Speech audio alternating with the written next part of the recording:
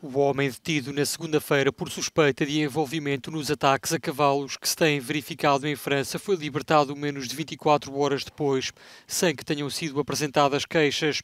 O homem de 50 anos afirmou estar inocente e saiu em liberdade depois das autoridades francesas confirmarem o seu alibi e verificarem através da geolocalização do seu telemóvel que era impossível que ele tenha estado presente nos ataques de que era suspeito. Desde fevereiro que França tem sido abalada pelas notícias de cavalos mutilados e mortos um pouco por todo o país. E o fenómeno tem se intensificado nas últimas semanas, tendo-se registado cerca de três dezenas de ataques desde o início do verão.